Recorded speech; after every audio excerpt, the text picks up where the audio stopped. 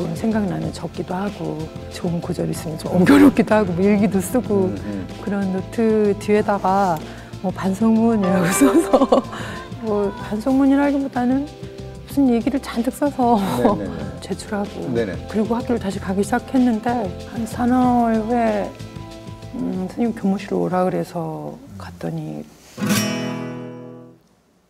너는 이미 소설가가 되는 게 좋겠냐 라고 그러셨어요. 나성분이 네. 되게 이렇게 소설처럼 많이 꾸며서 적으신 그- 그건가요? 한수문이라고 하기엔 작품이야. 근데 그 글쎄 소설가가 되라고 하실 때 기분이 어땠어요?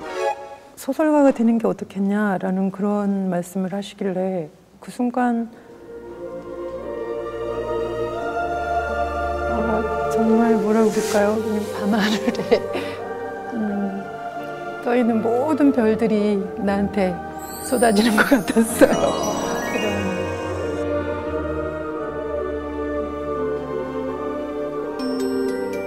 저도 실제로 제 꿈을 이렇게 이렇게 이거하고 비슷한 과정을 거쳤어요. 어, 그래요? 제가 학교에 한 달 정도 안 나갔거든요. 레스토랑에서 웨이터 한다고 어. 웨이터 했어요 저는. 그러니까. 선생님한테 잡혀갔어요. 이 새끼 왜 안 끝나? 그래서 제가 그때가 있었던 상황을 쭉 다 얘기했죠. 뭐 여자친구 때문에 그랬고 뭐쭉 얘기했더니 이놈의 새끼 말은 잘한다. 그래서 아 난 말을 하는 직업은 아닌데.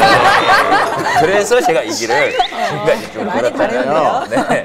그 동기부여 같은 게 있습니다. 우리가 살아가다 보면. 맞아요. 그로부터 몇 년 후에 중단을 해서 그 선생님께 책을 가지고 찾아갔 뵀을 때. 너 정말 소설가가 됐냐? 거군요.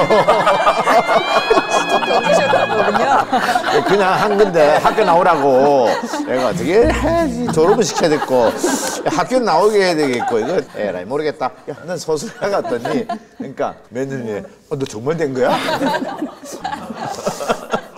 그래서 그런지 가끔 소설 쓸 때 제 삶에 대한 어떤 반성문을 쓰고 있는 듯한 느낌이 들 때도 들 때도 있고 선생님이 문창가에 가라고 권유도 해주신 예, 거예요? 그때 이제 그 당시에 내가 운이 조금 좋았던 게 제가 다니는 학교가 서울의 예술대학교인데 그 당시에 서울 예대는 학력고사 점수가 어, 아무리 높아도 네네. 실리 점수가 낮으면 들어갈 수가 없었어요. 네. 그냥 그게 저한테는 행운이었어요. 와, 뭐죠 이게 자랑하고 있는 거야.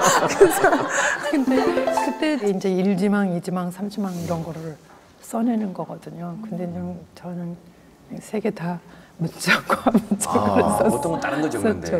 네네. 어. 아이고 참.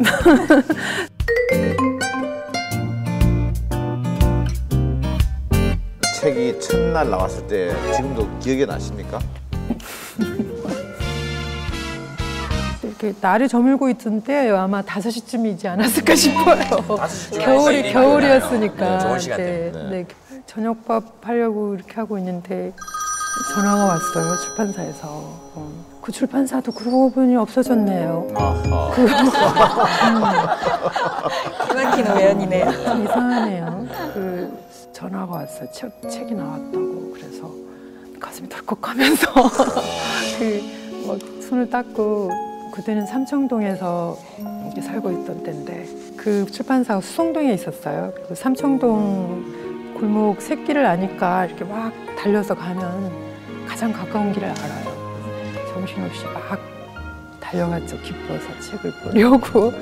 네, 가 이렇게 쌀쌀한 때였는데 그 출판사가 9층에 있었는데 엘리베이터 앞에서 이렇게 보니까 맨발인 거예요. 맨발인 거예요. 너무나 모른 채 막 네 그래서 달려와서 그래서 너무 좋아가지고.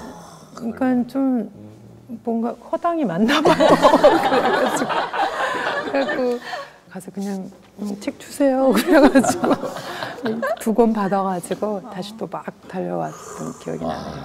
그, 야, 그날 밤 정말 좋았어요. 책을 대고 자고 깨가지고 다시 읽어보고 야, 아이, 좋으니까 어, 책을 이렇게 벽에 삼아 자고. 그 인쇄된 그 책 냄새, 네네. 책 냄새 또 부탄 냄새가 있잖아요, 또. 정말 무엇보다도 좋은 냄새. 네, 그때 하여튼 그 첫 책을 가져, 가졌을 때 그 느낌은 다시 찾아오지는 네, 않는 네, 것 네. 같아요. 그래요. 네. 어, 향기로운 좀 냄새로. 네. 제그